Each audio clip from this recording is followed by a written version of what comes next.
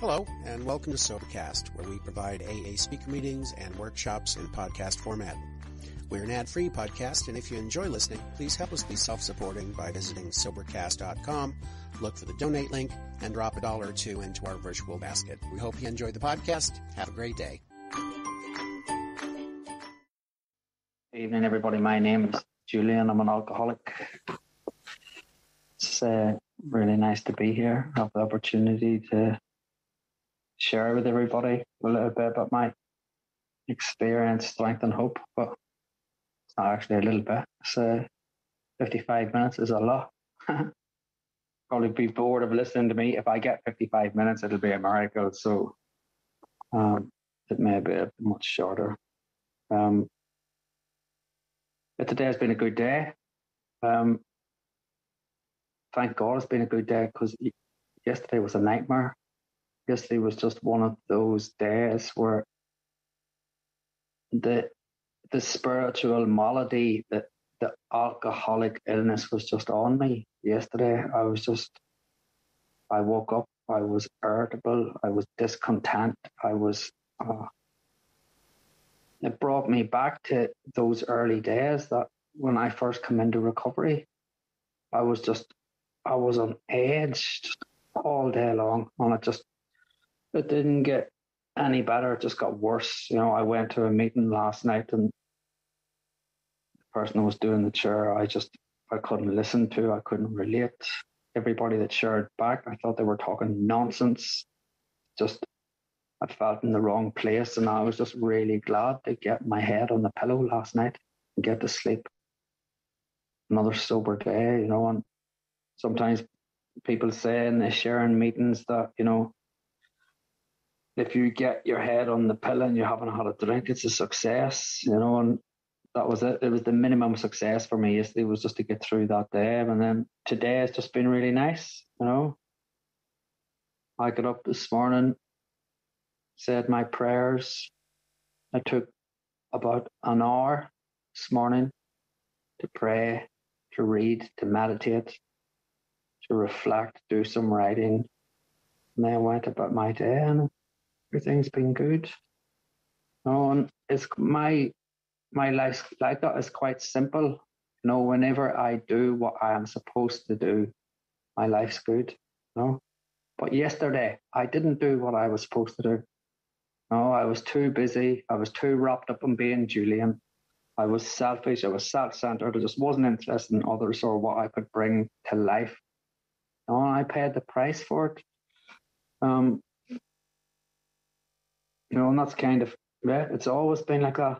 I mean, I was just just reflecting just before I started sharing. It's I've been around for a while. Oh, I think this is my. I've just done six. Well, in October, October 2022, I was 16 years sober. So this is my 17th year. You know, so it's been it's been a while, but it's still a daily reprieve contingent on the maintenance of my spiritual condition. You know? Once an alcoholic, always an alcoholic. That's the thing. Know, and just a little bit about me is I was born, I grew up in Northern Ireland. I'm the eldest of seven. I grew up in a very violent community in a very troubled part of Northern Ireland, you know. I grew up just not feeling that I fitted in. You know, I didn't fit in with my family. I always felt like an alien, even though I'm like, I look like my mum and dad. I always thought I was adopted. You know, I just felt, never felt comfortable. We would sit around the dinner table. You know, and my dad would be telling like his day about what he'd done at work, and everybody would be engaging with him and laughing and joking. And I just thought, what are you at? What are you on? It's just like not. I just used to think it wasn't interesting. I don't get the jokes. I don't. You know. It just. I just felt either what I felt was that I was just wrapped in a little bubble, you know, and that everything else went on outside of this bubble. And within my bubble, I didn't really feel the emotions or the the feelings that everybody else had. You know, it just felt like everybody else was expressing. I could see on their face this happiness and joy, and they were laughing. But there was none of that inside my bubble. You know, I just I I was just confused from a really early age, you know, and that's just how it was. You know, I just I always felt different. You know, and from a really from as far back as I can remember, you know, I just I always sought to isolate and get away from people to feel comfortable. You know, I used to climb trees. My nickname was Monkey. All my friends called me Monkey. So I was just always climbing in trees now, climbing up to the top of trees just to, to get away from people. Because I felt, you know, that up there I was safe, that people couldn't get up to me, that I was up above everybody else and I could look down and I felt safe and secure, that I could survey everything below me and nothing could get at me. You know, and I just I just always felt uncomfortable. Always felt uncomfortable. And oh, I remember I was always trying to change how I felt, even from a very, very early age on. You know, it's like my first go at changing how I felt was just binge eating sweets and drinking Coke. You know, I don't know what age I was, maybe like five or six. You know, I'd get these like big bags of sweets and stuff, and I would be lying on the bed dying. I was going to be sick, you know what I mean? But there would be sweets left, and I was just like, um, like forcing them into me. I just, I couldn't stop. You know, I just, I couldn't leave some of those sweets for tomorrow. You know, out of a bottle of Coke, and I just had to drink the whole thing. You know, I just fucking. It didn't matter if I was physically sick. I just couldn't stop. You know, and then I started getting into basically hyperventilating and fainting you know, getting electric shocks, sticking my hand in light bulb sockets and stuff. You know, just anything for a buzz, anything to just change how I felt. You know, and then whenever I went to school, it was basically I was only probably about ten and I, I was like really badly into sniffing petrol, you know. I just that was what people done and it was like I loved it. I totally and utterly loved it, you know. Sniffing petrol all the time. And then when I went to secondary school, started um, on the Tipp-Ex thinners, you know, and then it was like sniffing glue. It was just anything, just anything, you know. Long before I had a drink, I was just, just anything that would change how I felt. Just give me it. Do you know what I mean? If somebody said, Julian, this changes how you feel, I wouldn't even have asked you what it does, what's the consequences. Just boom, in, gone. That's it. You know, it was just that's how I was. You know, long before I had a drink, long before I had a drink.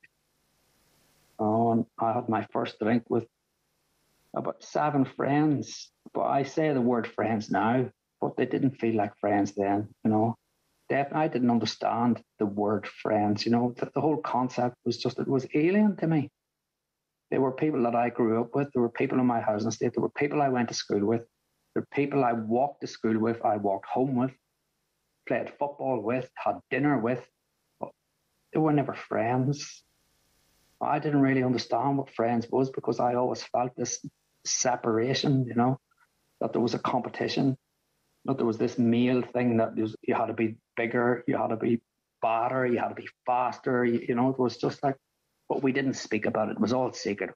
Nobody speaks about it, but we all know, we all know competition is on. We all know it's a war. We all know, you know, it was unspoken. And that's what it felt like for me. That was just always hyper vigilant. It was always hyper alert, watching everybody because it was like it was competition. It was a fucking war.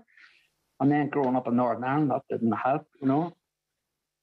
And that's how I was and went for a drink with these people whenever I was 14 years of age. And everybody went to the off license. They all decided they were going to get two tins of Budweiser. You know, it was our first drink, two tins of Budweiser.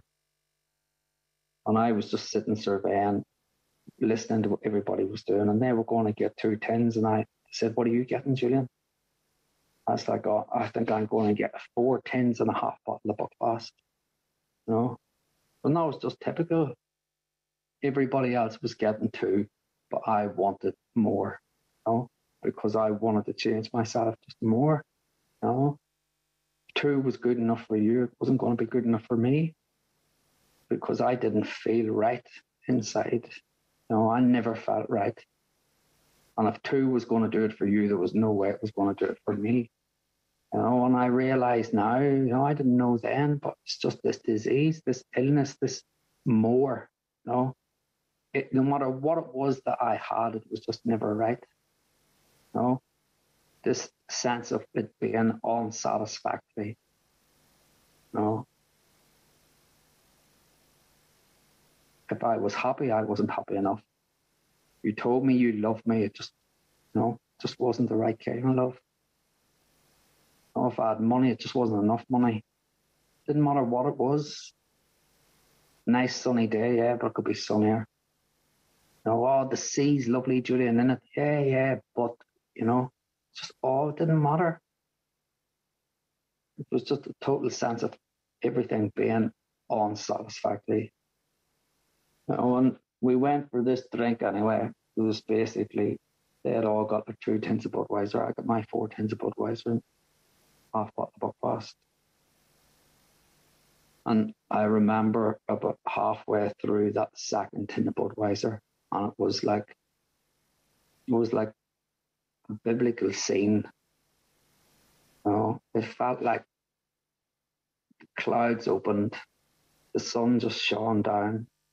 You know, I looked across the garden for the first time in my life at my friends.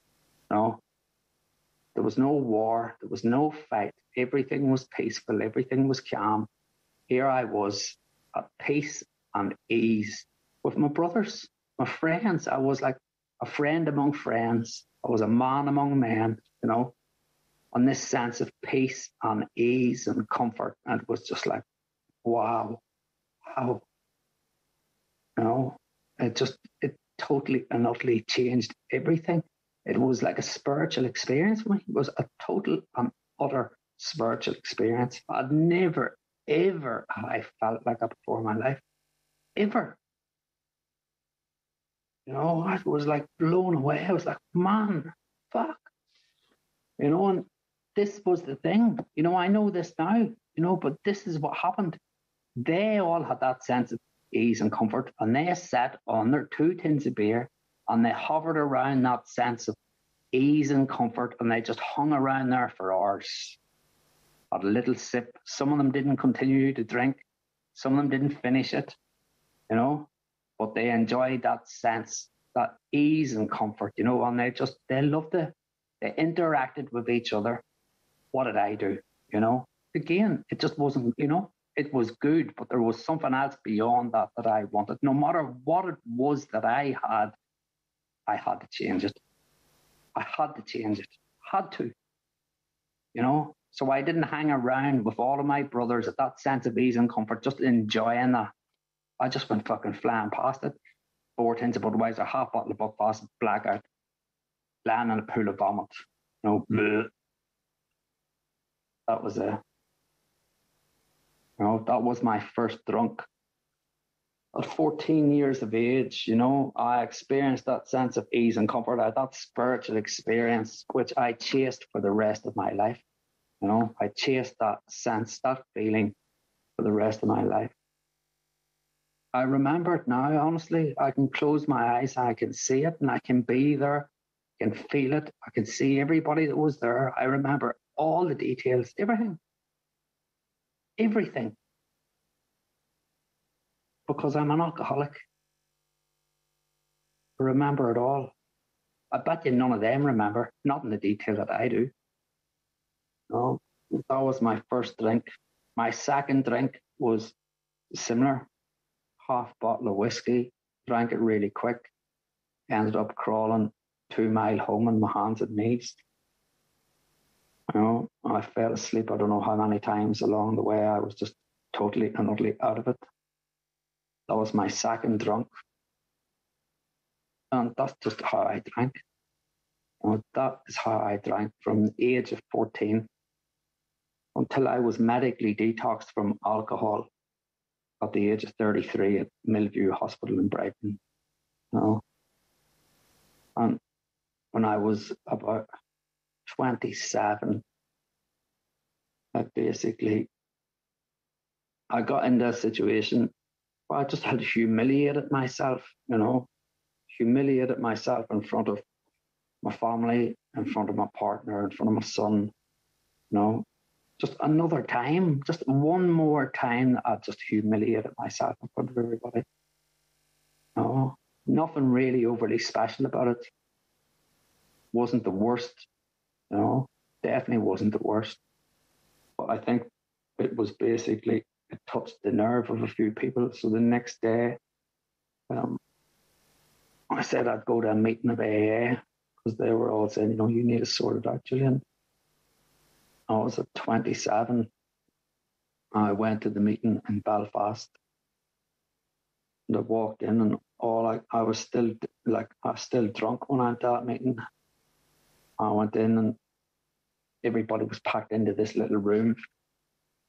And they were all smoking.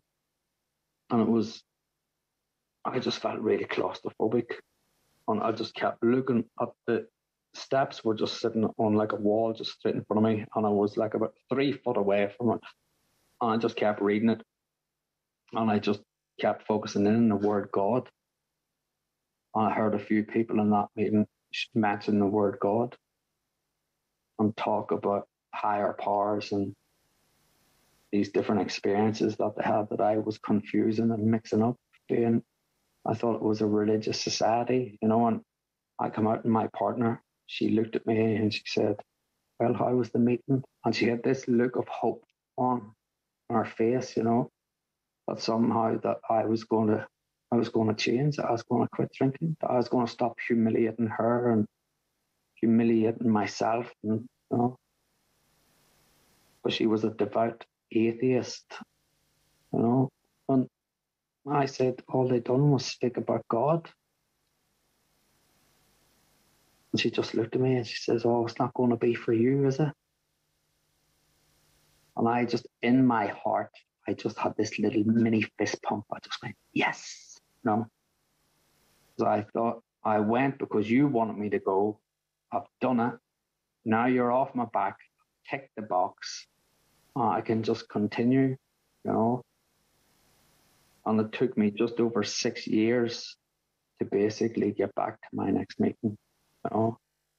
And if God scared me out of that first meeting, my alcoholism scared me in to my second meeting, you know. So by the time I got to my second meeting at the age of 33, I didn't care about the word God. I didn't care about anything. I was, you know, I was suicidal. It was either you know, I hear people share about it in AA. Eh, it was either homicide, homicide or suicide. I was going to kill somebody or kill myself.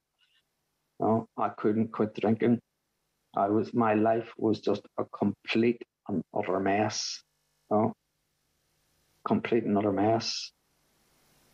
I drank every day. Every day I wanted to quit, and every day I would end up drunk.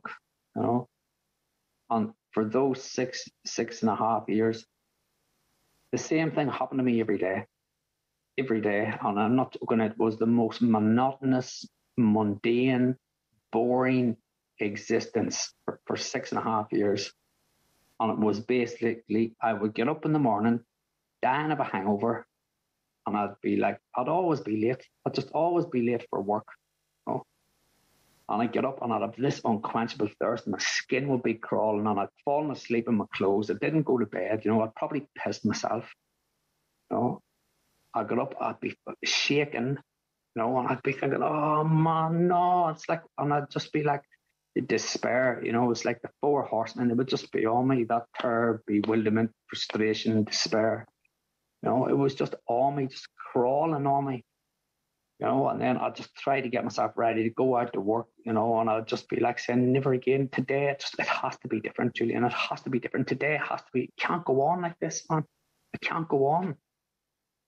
You know, and it was like I'd come shaking out of you know out of the house up to the train station. I'd get into work. I'd like be shuffling into work with a head down. You know, I wouldn't look at anybody. Couldn't speak at anybody in case they'd smell me. You know, put my head down and be like, trying to work away, but my head would just be, it was all over the place, you know. I'd just be trying to avoid people, trying to avoid eye contact. You know, I'd have a couple of cups of coffee and then things would just, you know, by about 10 o'clock, I'd be starting to calm down a little, you know. And then at lunchtime, I'd just be thinking, you know, I need to go and get some food. So I'd go and get some food, come back, and then I'd start, I'd be kind of feeling all right. You know, I'd forget, I nearly forgot about everything that had happened in the morning time. You know, I would have something to eat, something to drink, and I'd be there. I'd nearly be feeling normal. You know? And then I would start, you know, with these big resolutions. You know, it's like today, you know, it's going to be different. I'll have this clarity of mind. And I just think, you know, I'm just going to go home and I'm just going to sort it all out. You know, and I would make this big list of stuff. I'd just say I'll go back today and I'm going to clean the house and I'm going to open the bills. I'm going to pay that. I'm going to make that bank transfer. You know, I'm going to pay back that money that oh, I'm going to phone my, my kids. You know, I'd walked out my kids years before. You know, I'm going to phone my kids. I'm going to tidy the house. I'm going to like make some food. Go for a run. You know, the list just went on and on and on of all of the stuff that I was going to do. It, it, today it was going to be different. Today was the day that I'm going to make the change. You know, I'm, it's going to happen. It's going to happen. You know, and I have this big long list, and then I'll just convince myself that i just every day I just convince myself I'm this is what I'm going to do. You know, and by about three o'clock I'll be going, do you know what actually? I'll do all of that and I'll just have a couple. I'll just have I'll have a couple. Because like but if I do all of that, I might just reward myself. It'll be totally cool. Do all of that there, go home, do it all, have a couple. Do you know what I mean? It'll be cool. I promise you, at five o'clock, I was like a greyhound out of the traps. It would be like five o'clock, boom, straight to the off license, you know. And I would buy two tins of Stella. I worked in Haywards Heath and I lived in Hove. And the train used to take 17 minutes from Haywards Heath to Hove. And I couldn't get on that train without two tins of Stella. You know? On the first one, I'd be shaking with, you know, the shakes had left me now, but this was just anticipation, excitement, you know, that I was going to fucking, I was going to get my, going to get booze, you know, and I'd be shaking like that and be fucking spilling down me, you know, and I'd just look, look, just down it outside the off license. I'll have another one, and whether that one made it onto the train with me, sometimes if the train was even delayed three minutes, wasn't getting on, you know. But I was just ashamed on the platform looking around because there was work colleagues there, and I was like, sometimes, you know, in the beginning I was hiding from that. At the end, I didn't care, you know. But invariably, I tried to sneak on the train and hop it on the train, you know. And I'd basically get off the train and Hove. The second tin would be gone, and I had a four-minute walk from Hove train station down to Blatchington Road, and I couldn't do it. You know, couldn't do it. I'll be back in the off license again. And then I get down to Blatchington Road and then I'd pop into the co-op, you know, and I was going in to buy all the food and do all the stuff that I said I was going to do. And I'd just go in there and I'd just go, do you know what? I just fucking, I, I know what I do. I'll just, I'll buy a few beer now. I'll go back to the house, just fucking constantly, constantly lying to myself. Constantly. You know, but the thing was, I didn't even know I was lying. This is the thing. There was that thing about alcoholism, isn't it? Is denial. Didn't even know I'm lying. I didn't even know it. I'll just, I'll tell you what I'll do. I'll just go in now. I'll just buy a few beer. I'll go back and I'll tidy the house. I'll do all of that other stuff. And then when I know what I want to eat, because I don't really know what I want to eat just now, I'll go back. I'll do all of that stuff. I'll have a couple of beer and I'll come back up and get the food later.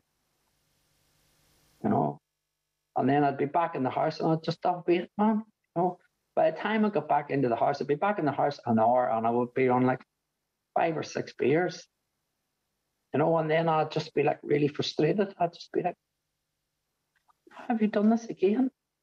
How, how have you fucking ended up drunk again? How? I promise you, and I'd be like so frustrated. I'd just thinking, how, how? and I'd be like banging my head at the wall. I'd be like thinking, fucking hell. And it's, I just wanted it to end. You know, I just, I wanted it to end. And this just went on for what, fucking six years. It's just like, I know people have these like really tortuous rock bottoms, but mine was just, it was like, it was, I, it just, it felt, it was like being bound and gagged and just pulled along the ground for six and a half years with just no control over anything, you know. Forced to drink. I didn't even want to drink, you know, but I was drinking every day. Oh. And at the end, I'd just given up, you know, I'd just given up because I just, I can't do it. I was so confused, you know, I just, I just, I didn't know what to do, know who I was, you know. I could never admit that there was something wrong, but I knew that something wasn't right. I just knew that something wasn't right. You know, how can I not just, how can I not get a day without drinking? How? I just didn't understand. No, I, I just didn't understand it. Know, and I remember at that time, friends would invite me go out for a drink and stuff. And it was like at the beginning of that six and a half year period, you know, if they they'd be meeting in the pub on a Saturday afternoon to watch the football. And if the football started at three, they'd meet at the pub at about half two. And I'd be turning up to the pub at half two, pissed, you know. Pissed. Because I'd have been on it. You know, Saturday morning, I'd have been drinking all Friday night because there was no work. I'd have been up at like four or five o'clock Saturday morning, dying, you know, and straight on it. So I'd be turning up there pissed. And then after a couple of years, it's just like I couldn't go, you know, because I couldn't turn up the pub at two o'clock or half two, totally and utterly pissed because I could only drink a couple of pints and I was like really antisocial. I hated everybody, you know, because they weren't drinking fast enough. They weren't, you know, drinking long enough. They weren't everything. And I just, I become a social recluse and just drank by myself because that's where this disease wants me, you know, just wants me in the bedroom by myself, you know, curtains closed, not engaging with anybody, not answering the phone because I'm afraid who it may be, not answering the door because I think it's, don't know, is it bailiffs? Is it, m- m- m- has my ex partner turned up on my son? You know, because come on, let's go and find daddy because he's not answering the phone. I don't know. No, is it? I don't know who's after me. I just I was hiding from everybody. I owed loads of money. I was just, my life was just a mess. You know? It's a mess. Oh, and I went to the doctor and I just said to the doctor, I just I can't stop drinking. And the doctor basically had me in for for a detox in about three weeks. And I swear them next three weeks were just like torture, you know, because then I was just like, I was re, I just went for it, you know. I didn't know actually know if I was going to make it to get into the detox because I was just drinking injuriously. Just I just wanted it to be over, you know. And I was just like down and you know, I was just it was horrendous. And then I got there, I went into the detox and oh, I fucking loved it. I totally and utterly loved it. You know, basically like a secure unit. You're locked up. You know, I loved it. I didn't drink, you know, that was it. I was there with like, can't remember, there was about 10 of us. You know, we weren't drinking, we were basically being fed. We were like free teas. That's what it felt like free tea, free coffee, books. You know what I mean? Vitamin injections, in Librium, you know, drugged up. And I, I, I honestly, I totally, I loved it. I didn't want to leave. I felt secure. I felt happy. I'm happy that I'd quit drink. You know, I think about it now that was at the time thinking this is as good as my life has been. This is as happy as I can be to be locked up in a secure unit in a hospital and to be happy, to be thinking this is cool. That's where my fucking disease took me. That's where this, you know, is insane that I was loving that experience, thinking, wow, you've landed now, Julian. How cool is this? A secure lockup in a hospital man. It's just insane. I can't even believe it, you know, that I say that, but it's true. Oh, we were introduced to AA, and the people come in from CA and come in from AA, and they held meetings, you know, and it was amazing, man, because you know you got a little bit of introduction to what it was that you needed to do, and every nearly everybody that worked in that hospital, all the nurses, all of people, all the, the, the rehab staff, they were all just like, get to AA. When you leave here, go to AA. And I can remember just being released from there, and it was like 33 years of age, and it was about two miles from where I lived, and I can remember getting released from it on a Friday afternoon, and just like thinking, I don't want to go. I don't want to go. I was so full of fear, you know. I didn't have anybody, you know. I'd burned all my bridges. Not even had I burnt my bridges, I'd blown them up, you know. There was nobody, nobody, you know, that was coming to walk me home. You know, there was nobody coming to meet me. I can remember thinking how, in my head, I couldn't think how I could get from the hospital to the house without passing a pub or an off license. I didn't know a way, you know. Oh, I was just so afraid that now, for the first time, that oh, I was going to have to try and navigate this by myself. Oh, that this was my freedom. I swear I never was as, you know, if you had asked me, are you afraid, Julian? I've said, no, because I would never have expressed fear to you, you know, not where I grew up, because you would never say to someone you were afraid. Was you'd have got the shit kicked out of you.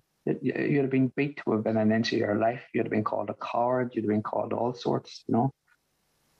I grew up in a very brutal community that you just you didn't say that sort of stuff. Know? And if someone had said, Are you afraid? It's like, no way am I afraid. I'm not afraid fucking kill you. I was afraid, you know. And I was trying to navigate my way home, and I remember just walking back and getting into the house, and just there was an armchair in the living room, and just gripping it, you know. And I was like so tense, just holding on to this seat, and just like feeling safe that I got into the house and that the world was out there, and that I'm not fucking going out not going out. I'm staying. I'm staying here. But I was petrified, you know. And I remember a girlfriend come home from work and she says to me, this was like a couple of hours later, and she says, What do you want to do? I was like, What do you mean? She says, What do you want to do? I says, No, I heard you the first time. What do you mean? She says, What do you want to do? And I was like, I was like losing it. I was going, What do you mean? What do I want to do? And she says, Julian, she says, It's Friday evening. What do you want to do? And I just thought, fuck. Oh, just wanted to cry. That's what I wanted to do. I never felt as lost in my life, you know, what I want to do.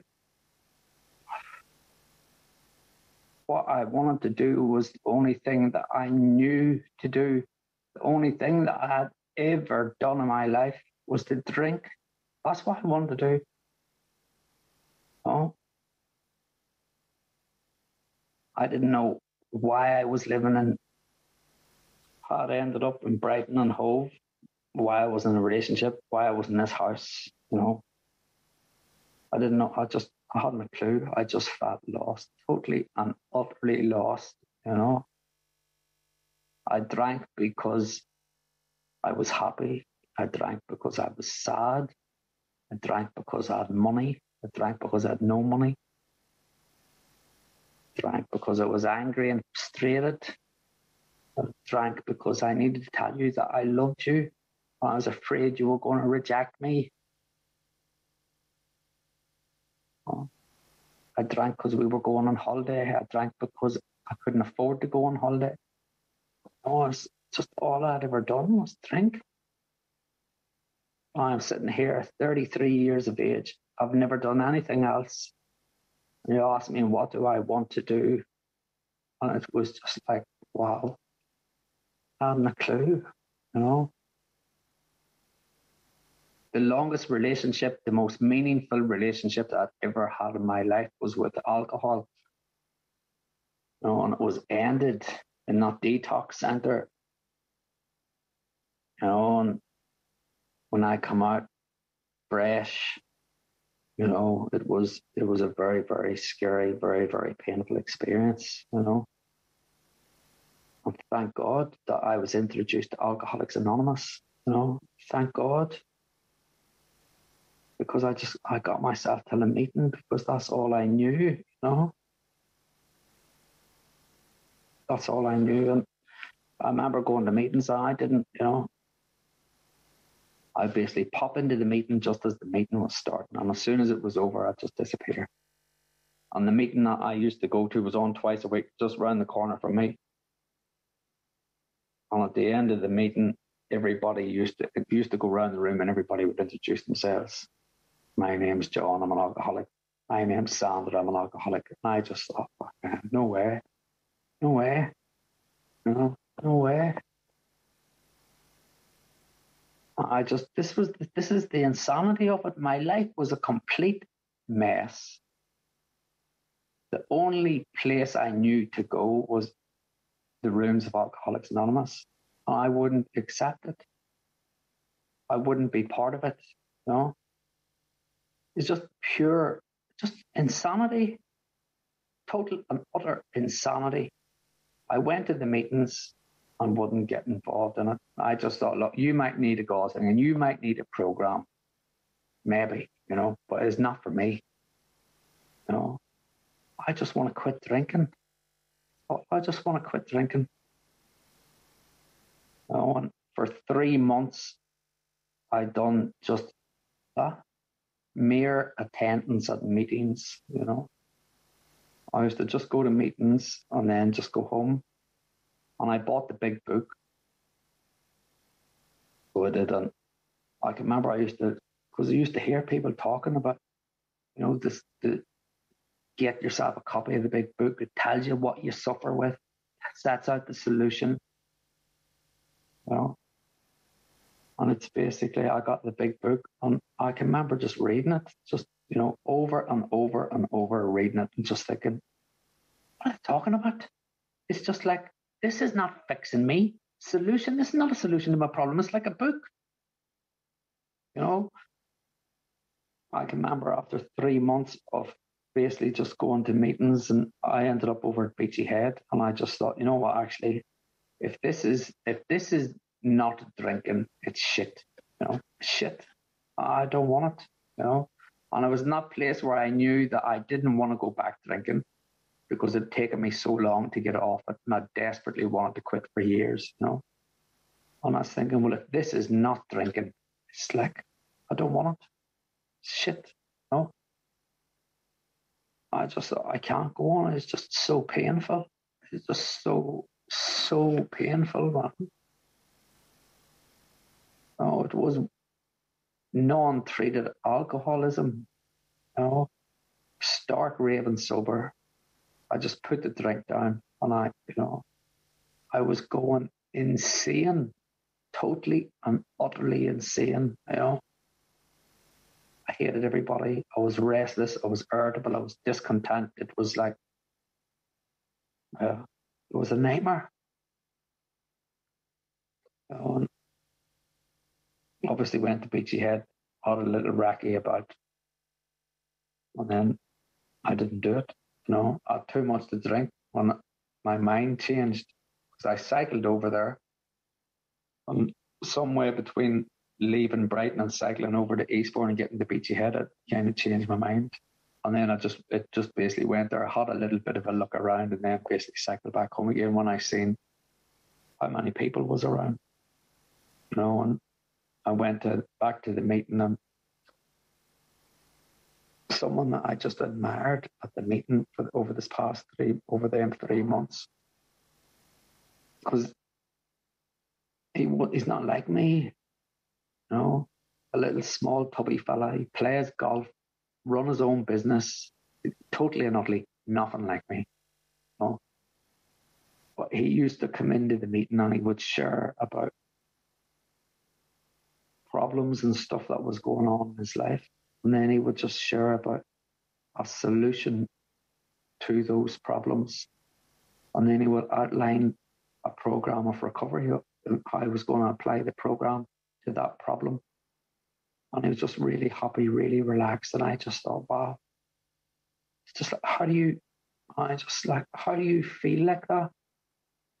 How do you just, how can you like be like how you are? It's just like, it's just like, amazed me. I just thought, how? You know, and I approached him and I said, you know, will you help me?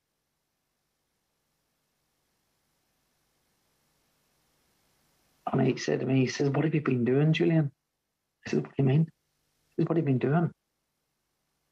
I was like, What do you mean, man? Sorry. He says, What have you been doing? I was like, oh, Look, I'm really sorry, man. You're going to have to explain to me. He says, Well, basically, he says, You have gone into detox. He says, You've come out, you put the drink down. He says, And that's it. And then in that moment, I just kind of realized that, you know, that the drink wasn't the problem. I was the problem, you know. And then when I thought about all of my childhood and all of the restlessness and the irritability and the drugs and the glue and the solvents and the petrol and how I felt and how I was feeling then. You know, drink was my solution. To Julian was my problem. You know, it was like a kick in the balls. I just thought, fucking hell. No, but it was that moment of realization for me that, know, the alcohol's in the bottle the alcoholism is in me. I'm putting down drink. Not drinking doesn't treat alcoholism. You know? Take away the alcohol, you still have the ism. And that was it. I was just suffering from this internal spiritual malady. You know, and he had a solution. AA had a solution which was to follow the program, you know. And he said to me, "You prepared to go to any lengths?" And I hadn't even a clue what he meant, you know, but I knew the answer was yes. I just looked at him and I said, "Yeah." He says, "When you get this, are you willing to pass it on to another man?" I was like, thinking, "Fucking hell, wow, yeah, yeah, of course." know, I couldn't even help myself. I was going to help somebody else. You know, but that's we all need to do it, isn't it? Is to ask for that help, and it's that you know, it's just another little, um, just another little surrender, isn't it? You know, we have all many surrenders along the way. You know, Had a little surrender when I went to the doctor. Had another surrender when I turned up for the detox. You know, had another surrender when I walked home from the detox without going into the off license. Had another surrender when I went back to AA. You know, just surrender all the time. And this was another one asking another man to help me. You know, for the first time in my life, that I'd basically gone up to someone, you know, asked for help. And then I met him, you know, we met we met once a week and I went through the steps really quickly because I had that I just was desperate because my life was a mess. My life was worse three months into three months not drinking and not doing anything to deal with that internal spiritual malady. I was worse than I'd ever been at any stage in my drinking. You know? Uh, I realized this is sober condition, this, you know. And if we're not going to drink, we got to treat the ism. Just putting down the drink and the drugs, just it's not going to cut it, you know. There's three, you know, my experience is is that there's three states for the alcoholic to be in, and there isn't any other ones. There's basically a functioning alcoholic, drinking, using. Then there's a non drinking, non using alcoholic. And then there's a recovering alcoholic. And I've tried all three of those.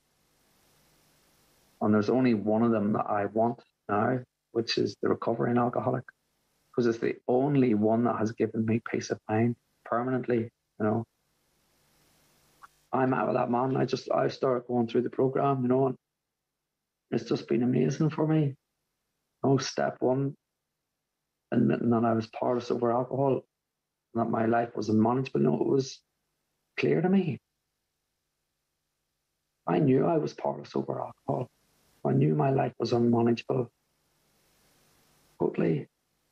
Oh, I knew for those six and a bit years that I couldn't put it down, that my life was a mess. I knew. My life was always unmanageable. Since I was a child, it was unmanageable. You know, totally and utterly powerless over alcohol. But as I'm powerless over alcohol, I've come to believe that I'm also powerless over people, places, and things. No. But in relation to my alcoholism and how I treat Julian, you know, it's basically, we're talking about alcohol. So I'm powerless over alcohol, first and foremost. You know, a lack of power is our dilemma. We have to find a power greater than ourselves, you know. Not the solution for me is this program, it? So for me, the step one, I'm powerless, you know, and I do, I concede to my innermost self that I'm alcoholic. Every morning I get up, I get on my knees, and I concede to my innermost self that I'm alcoholic. And I pray for another sober day. Every morning. Every morning. Because I acknowledge I'm powerless, you know. Once an alcoholic, always an alcoholic. Just because I've been around for a period of time doesn't mean to say somehow that I'm fixed know. And then for me, with the higher power thing, the step two, you know, I kind of struggled with it in the beginning. I really struggled. You know, I just, I, I genuinely thought that I can never get this because I was just so anti God and I felt so far away from spirituality and from a higher power and from God that I just thought I can't get this. Even when I wanted it, even when I was so desperate, you know. Even after I approached my sponsor, you know, I just thought maybe this is the bit. Maybe just I'm not going to get it. Maybe I'm just one of those ones that they speak about in the book. You know, those unfortunates. And I really struggled. And I was reading all of these like books on theology and philosophy, and you know, I thought that I could intellectualize God and a higher power. Oh, I genuinely thought, I, I thought I'll just read. I can understand that. If I read a little bit about God, then maybe I'll understand. I wasn't getting there, you know. I wasn't getting there.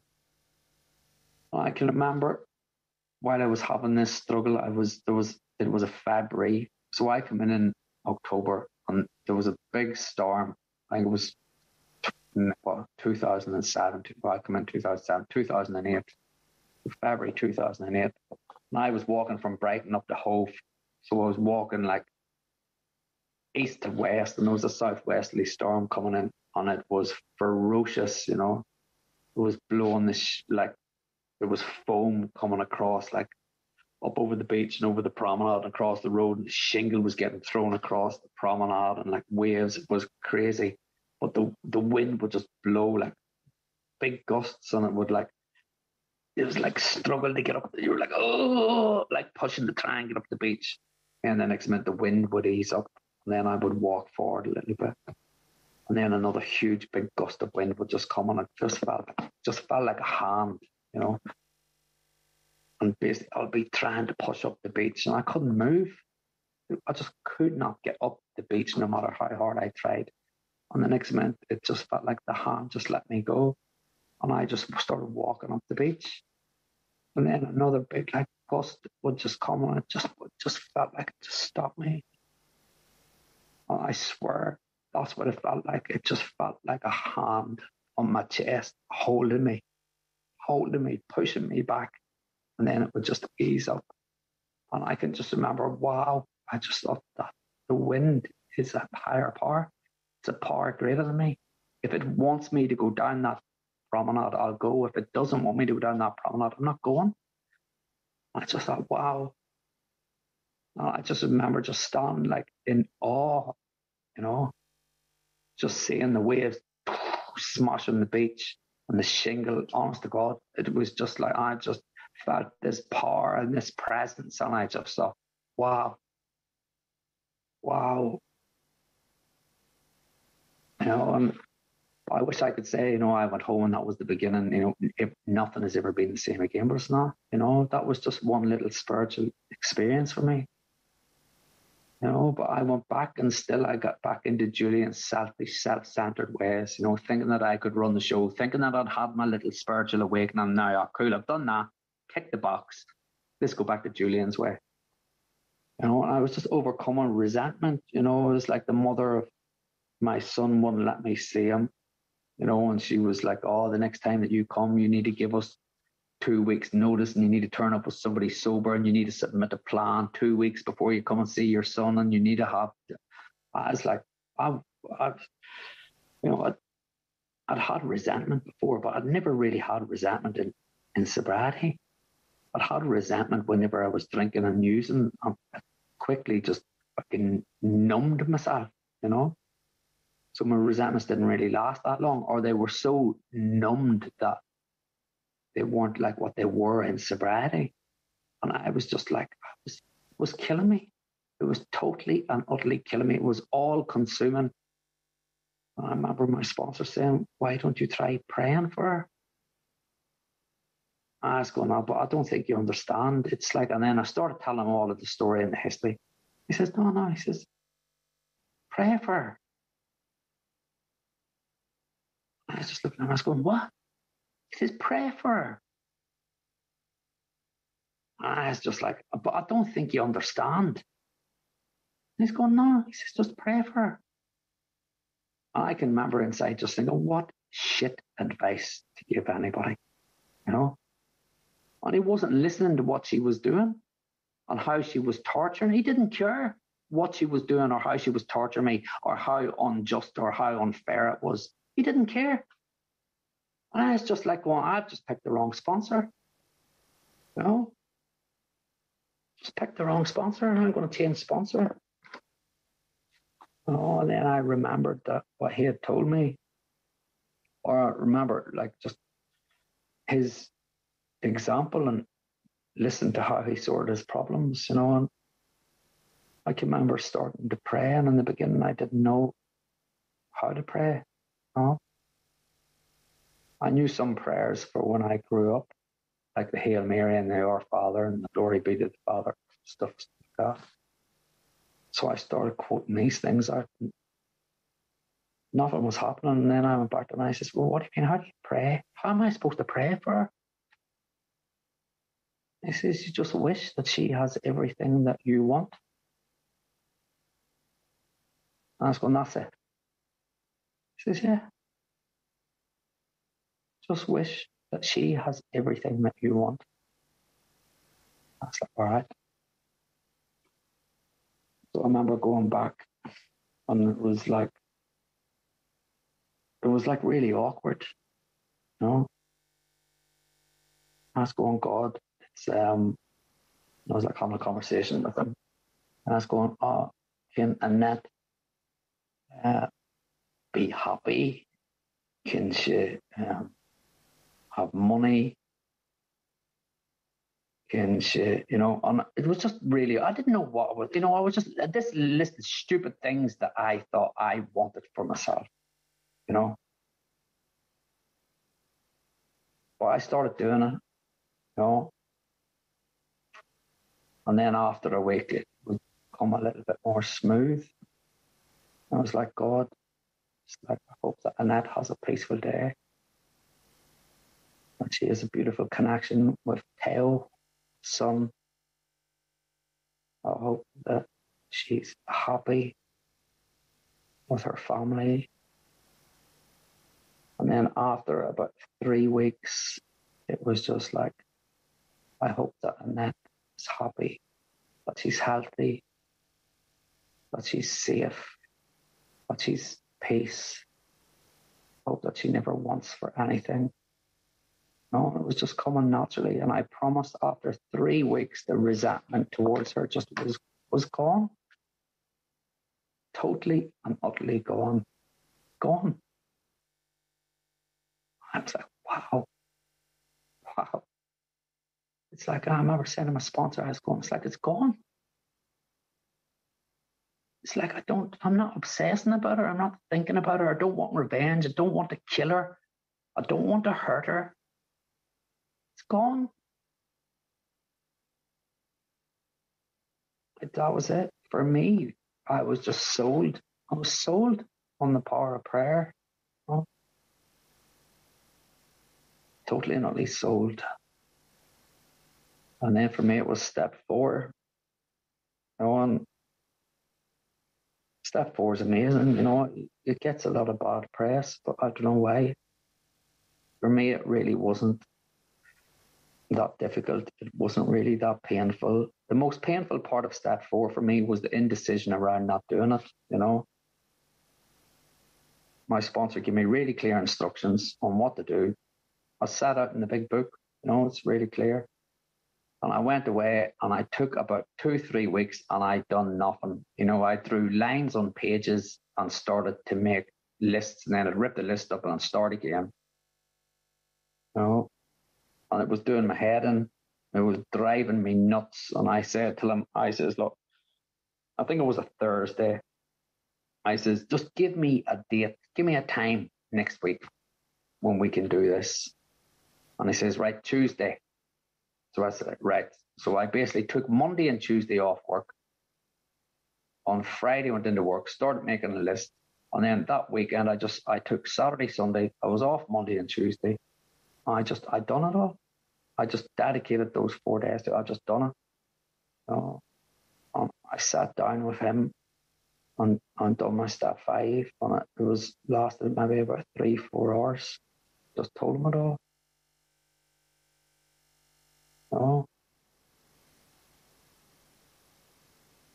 I just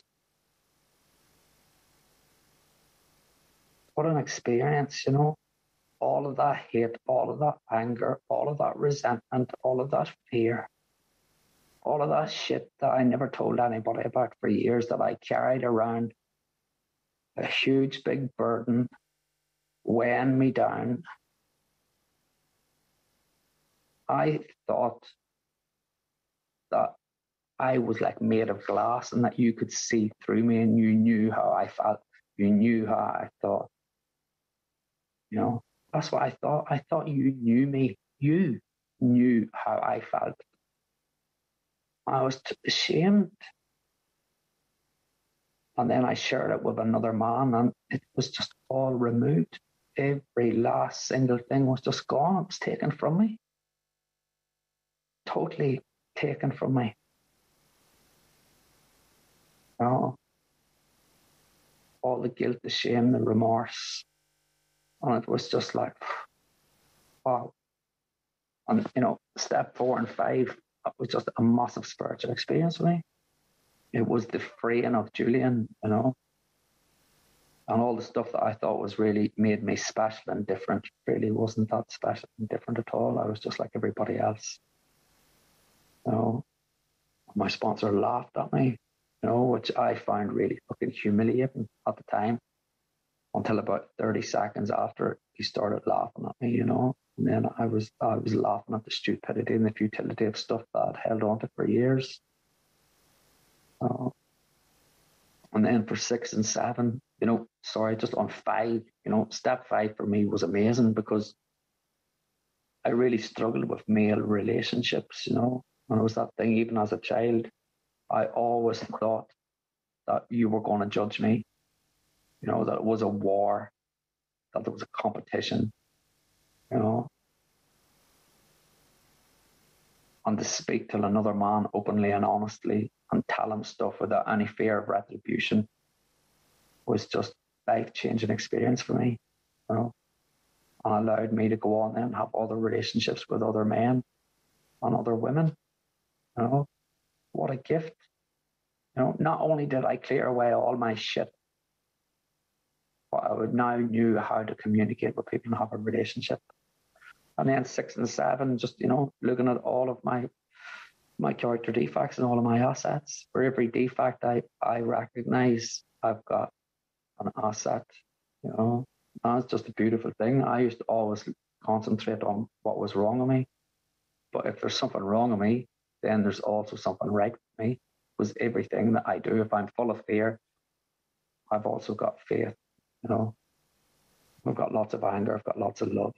I'm capable of all of these things, and to be able to see myself as a balanced, humble individual is amazing. You know, whenever I started making amends for me, it was just so cool, man. What an amazing experience to repair all of those relationships. You know, I walked out on my kids when they were young. I sorted out the relationship with their mother, sorted out the relationship with them, with my parents, with my grandparents, school teachers, everybody. And again, it just sets me free oh, it just sets me free. And then I just try to continue to maintain stuff now with 10, 11, and 12. You know, I continue to do, to take inventory on a daily basis. I pray, I meditate. You know, I've become a seeker, you know, trying to seek, actively seek to expand upon my spiritual life. I go to the Buddhist center, I study Buddhism and meditation, I want to become a meditation teacher. I'm always trying to take time in my life to find, you know, just little spaces where I can pray, where I can breathe, where I can connect. And, you know, I have step 12 had a spiritual awakening as the result of these steps. And I try to carry this message. Know, I don't always practice these principles to the best of my powers. Like I said at the beginning, you know, yesterday was a disaster. I didn't practice any of this you know, the ism, the disease was on me, and I just, you know, I couldn't do it. But today I could, you know. That's it. I've realized I've gone on. So I'm just very grateful to be here. I'm very grateful to be sober, you know, and I hope I've basically been of help to someone tonight. And I wish you all the very best. May you have a long life and a wonderful recovery. Thank you.